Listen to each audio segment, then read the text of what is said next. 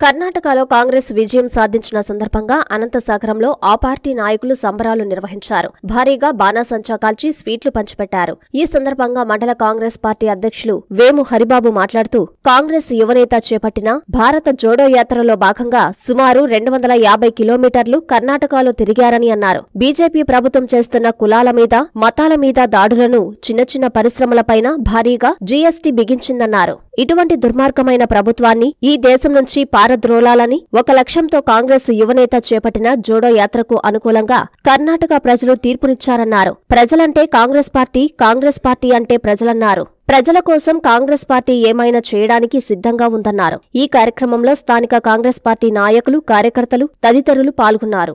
దాదాపు రెండు వందల యాభై కిలోమీటర్ల కర్ణాటకలోనే పాదయాత్ర చేశారు. అక్కడ ఉన్న జనాలని భారత జోడో యాత్ర పలు అంశాలపైన జరిగింది. ఒకటి నిరుద్యోగ యువత పైన స్త్రీల మీద దాడులపైన వర్గాలపైన కులాలపైన మతాలపైన ఏదైతే దాడులు జరిగినాయో రైతులపైన నల్ల మూడు నల్ల చట్టాల ఉద్దేశం పైన ఏదైతే చిన్న చిన్న పరిశ్రమలు ఉన్నాయో వాటి మీద బిగించినటువంటి జీఎస్టీ ఇటువంటి దుర్మార్గమైనటువంటి వ్యవస్థని తుదివర్తించాలి.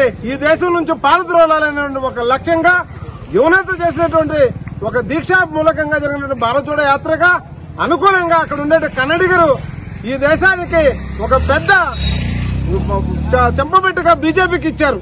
ఇది కన్నడ ప్రజలు చేసినటువంటి పెద్ద తీర్పు. ఈ తీర్పు యావత్ దేశానికి ఒక పెద్ద కాంగ్రెస్ పార్టీ అంటే ప్రజలు ప్రజలంటే కాంగ్రెస్ పార్టీ.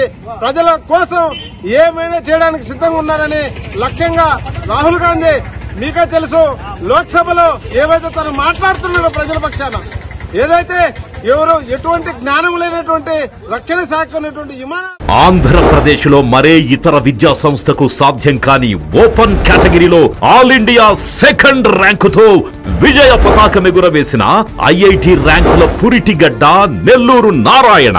ఆంధ్రప్రదేశ్కి ఐఐటి ర్యాంకుల పుట్టిల్లు నెల్లూరు నారాయణ. ఇప్పుడు అన్ని కేటగిరీల్లో all India first rank.